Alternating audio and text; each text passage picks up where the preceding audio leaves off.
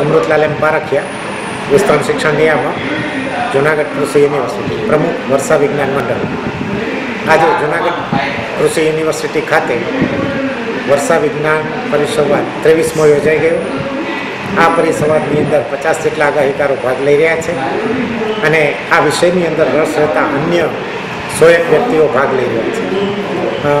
આ પરિસંવાદમાં ખાસ કરીને આપણું જે પ્રાચીન વર્ષા વિજ્ઞાન છે અને એના આધારે આગાહીઓ કરવામાં આવે છે. એમાં અલગ અલગ પ્રકારે મિત્રો આગાહીઓ કરે છે. એમાં ખાસ કરીને આકાશની અંદર બનતા કસ કયા સમયે બન્યા છે? આખા વર્ષ દરમિયાન પશુ પક્ષીની જે ચેષ્ટાઓ છે, એનું ઓબ્ઝર્વેશન લેવામાં આવે છે. જુદા જુદા વનસ્પતિઓમાં ફૂલ, ફળ આવરણ કોરામાં ક્યારે આવે છે એના ઉપરથી પણ તારણ કાઢવામાં આવે છે.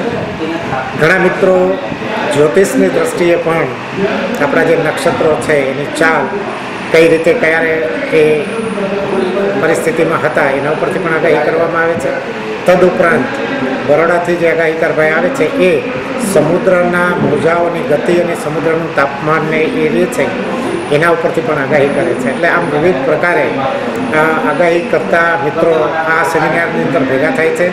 પોતા એ કરેલી આગાહીઓ અને અન્ય વસ્તુઓ, અન્ય ઓબ્ઝર્વેશનો જો બીજાએ લીધા હોય, તેની સાથે ચર્ચા કરે છે, આપલે કરે છે અને એ એ રીતે આગલા વર્ષે એમને શું ચોકસાઈ રાખવી એની પણ ચર્ચા.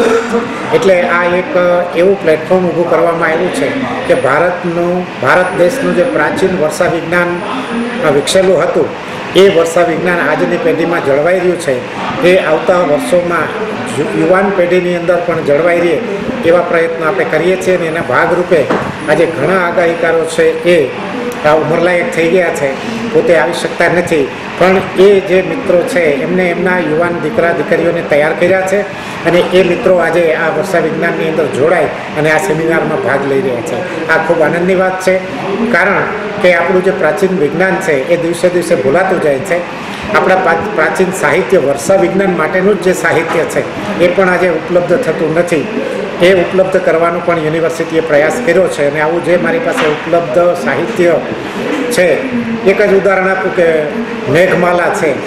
એ સંસ્કૃતમાં લખાયેલી છે, એનું ગુજરાતીમાં ભાષાંતર કરેલું છે. શ્લોક સાથે એનું ભાષાંતર કરેલી પુસ્તિકા એક મને પુસ્તક મળ્યું. એની સોફ્ટ કોપી પીડીએફ ફાઇલ બનાવી અને આપણે આપણી વેબસાઇટ ઉપર મૂકશું. બધા માણસો એનો વાંચી શકે, એનો અભ્યાસ કરી શકે. આવા પાંચેક પુસ્તકોનું પણ આપણે આ વેબસાઇટ ઉપર અપલોડ કરીશું. જેથી કરીને યુવાન પેઢી આમાં રસ લેતી થાય. સાહિત્ય મળતું નથી એ બધા વાંચી શકે.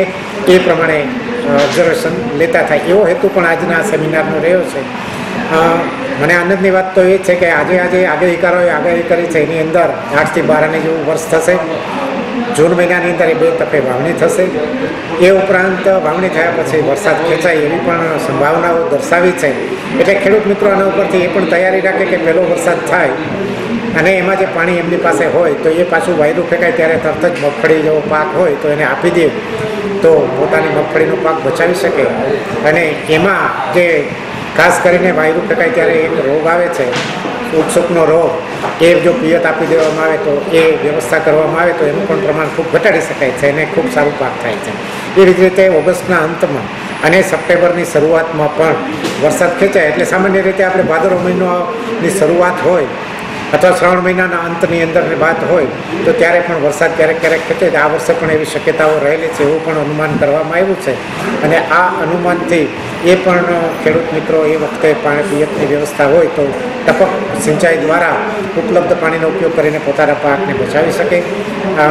આ રીતે આવતું વર્ષ પ્રમાણમાં ખેડૂતો માટે પણ સારું રહેશે. આઠથી બાર આને કહીએ એટલે ઉત્પાદન પણ સારું થાય એવું તારણ કાઢવામાં આવ્યું છે.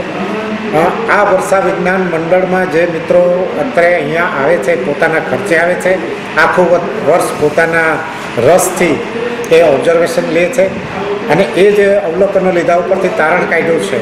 એ તારણને આપણે વૈજ્ઞાનિક રીતે એનું વિશ્લેષણ કરવામાં આવ્યું સ્ટેટિસ્ટિકલ એનાલિસિસ કરવામાં આવ્યું અને કેટલા પ્રમાણમાં એ અવલોકનો સાચા પડ્યા છે.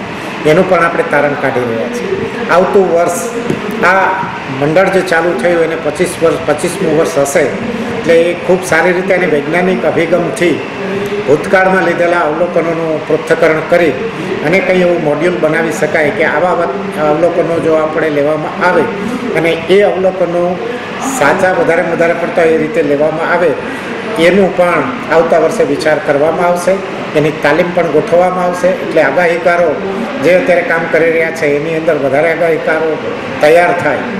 અને આપણને મોટા વિસ્તારની અંદરથી જે માહિતી મળે છે, એના કરતાં તાલુકા વાઇઝ માહિતી મળતી થાય એવો પ્રયત્ન પણ આ સેમિનાર દરમિયાન આપણે આજે કરેલો છે.